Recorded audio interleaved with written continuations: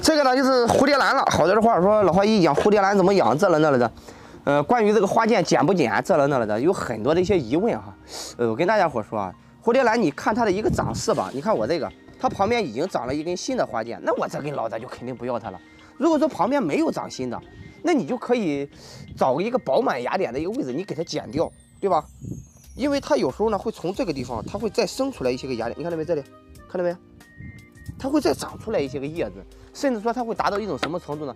在上面再重新长一株蝴蝶兰起来，这个都是蝴蝶兰的一个特性。那我现在边上已经有了哈，我这一根我就不要了，就可以齐根剪掉它了，齐根去剪掉，哎，就这样就行了。这一根呢就可以拿掉了。然后呢，有的话说养蝴蝶兰这了呢，你可以看到它的一个根系，我大大部分时间是裸露在外的，这种根系长得像一个蚯蚓一样，是吧？这种东西呢就叫肉质气生根，它蝴蝶兰也是一种腐生兰。呃，我下面浇的水比较多，有的话说，那我们可以这样浇水吗？这我的花盆是很透气的，我里面用到的这个土壤啊，包括它的一个通风都是蛮好的。我们空气湿度高，通风也好。这是我刚浇过的水，所以说你看起来像水多的样子。我给的光照也不多。你家里面空气湿度不够的时候，它不会长这种根，就这种很饱满的根，这个叫气根。它的老根已经死掉了，你看到，它的老根有的已经就死掉了，已经就要不行了，老化了。但是它会长新的根出来。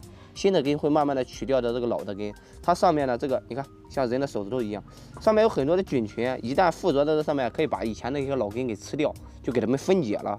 所以说你一定要盖在这个点，那后期这个呢就可以去长了，慢慢的去再让它再度开花。之后呢，咱们把这个给它做一下牵引就行了，让它长得更高一点。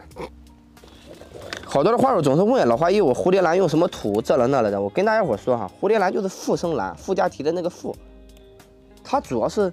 主要是它的一个根系是肉质气生根，你配土也好，干什么也好，尽量的维持一个排水透气，空气湿度高一点不怕。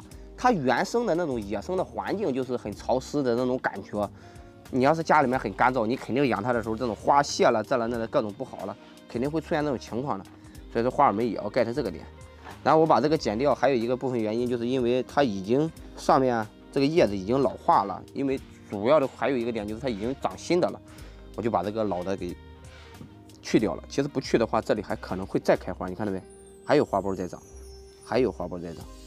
那剪下来这一个，其实可以尝试去给它扦插的。好了，然后咱们尝试性的玩一下，看看这个到底能不能活，给它摁到土里边了。万一活了呢？不活就拉倒了。玩呗。你主培的时候呢，它基本上是切的很少。它植物它有一个特性，就是慢慢来嘛。之后呢，就正常的养护啊。花友们，关于这个花剑剪不剪，还是跟大家说了。如果说大家不剪，还那句话，有那个饱满的芽点，它可以再从旁边剪。如果说旁边生了新的，你那你就把老的去了，你不要纠结了。养兰花都差不多。好了，如果说有其他养问题呢，可以视频下留言。我是老花一，养花自然一，绝不随机点赞啊，拜了。嗨，嘿嘿嘿嘿。